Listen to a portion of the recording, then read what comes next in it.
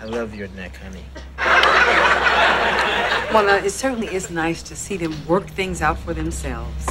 They haven't worked anything out for themselves. It's my barbecue sauce.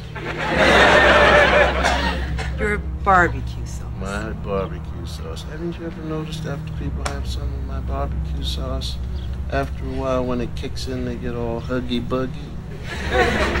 Oh, stop. I'm dead serious. Haven't you ever noticed that after one of my barbecues and they have the sauce, people want to get right home?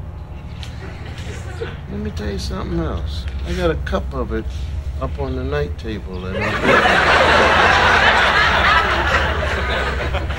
I got a cup of it, I said.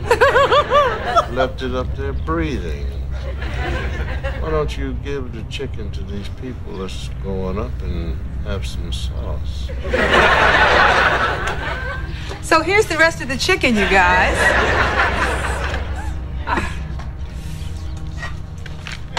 Doc, Doc, Swoop, I love this chicken. Hi, Rudy.